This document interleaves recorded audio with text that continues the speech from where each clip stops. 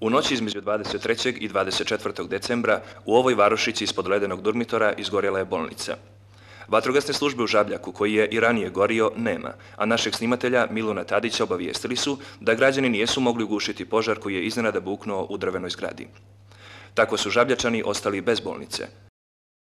Ovako je bilo daleke 1969. godine, a danas u objektu sagrađenom sredinom 80. godina prošlog vijeka svakodnevno ordiniraju svega tri izabrana ljekara. Građani pod Durmitorskog gradića nisu zadovoljni nivom zdravstvene zaštite u ambulanti. Svjesni su da nedostaju češće posjete specijalista. E, nemamo e, uopšte ljekara, nemamo pedijatra. U današnje vrijeme jedna općina da nema pedijatra, to je stvarno nešto nestvarno. Pa mislim da nije dobro. Da vidim, ljudi se žale, a... Čeka se satima na pregled, ne možemo da uradimo obične nalaze, moramo da idemo u Pljevlja ili u Nikšić.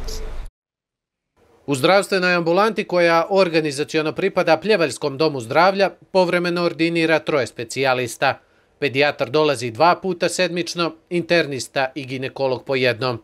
Svjesni su u menadžmentu, ali i lokalnoj upravi Žabljaka da je u ambulanti neophodno pojačati kadar, prije svega u zdravstvenoj zaštiti najmlađih pacijenata a ovih dana treba da upriličimo sastanak predstavnika Ministarstva zdravlja, presjednika opštine Žabljak i nadam se da ćemo napraviti dobar e, dogovor jer su svi raspoloženi da pomognu.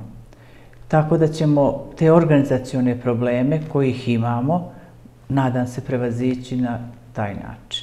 Negdje imamo neke pozitivne signale i velike izglede da na Žabljaku angažujemo jednog pedijatra koji će pet dana u sedmici konstantno biti tu pristojni koji će našim sugrađanima pružati adekvatnu primarnu zdravstvenu zaštitu. Ono što bih još danas želio da najavim sa pozicije predsjednika opštine jeste da smo najavili sastanak sa direktorom Fonda za zdravstveno osiguranje gospodinom Vukom Kadićem gdje ćemo porazgovarati o svim usloženim procedurama koje se tiču pacijenata sa Žabljaka, a ogledaju se u pregledima u zakazivanju pregleda u Bijelom polju i u Beranama koje su za nas, da kažem, u ovom trenutku dosta složene i ne mogu na kvalitetan način da odgovore potrebama našeg lokalnog stanovništva.